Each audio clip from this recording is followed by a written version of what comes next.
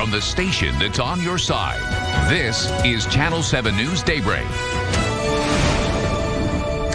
623 is the time. Welcome back into Daybreak. And since the pandemic, many family practice physicians are noticing that a lot of people are not getting routine screening examinations. You could be one of them. Joining us this morning to explain the importance of preventative care visits, Baptist Health Dr. Jheanelle Dawkins with Sherwood Family Medical Center. Dr. Dawkins, thanks for joining us in the studio this oh, morning. my pleasure. All right, so preventative care list. Yes. If someone is trying to assess and put one together, what would be on there? So things that would be on there, importance of your vision examination, you know, senior dentist every six months.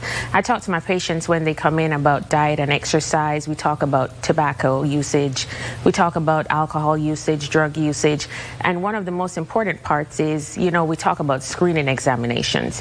Have you had your mammogram completed? Did you do your pap smear? Is it time for a colonoscopy, which is always a favorite topic? of course, I'm you sure. know, so Yes. things like that. Uh, whenever it, people are answering those questions, do they ever go, "Oh, that's right. I didn't think about it." It's it's it's so odd to think that we we do really need to be reminded of stuff like this, which is why you're in studio this morning Right. because the importance of this. You're talking about preventative care, um, life saving, correct? Correct. Okay. So, you know, I wanted to talk about this more from my public health perspective than my medical degree training, and really they go hand in hand.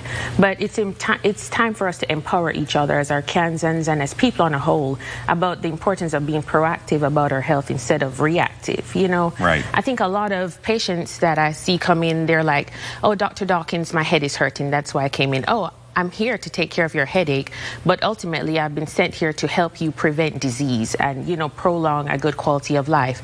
So I want you whenever, you know, encourage everyone, not just your family members, but your co-workers to just come in and get their prevent your preventative health visit completed.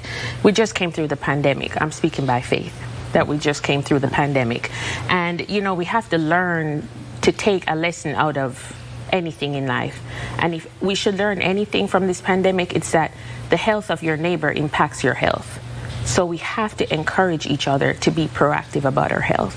Okay, and you can do that by scheduling your appointment.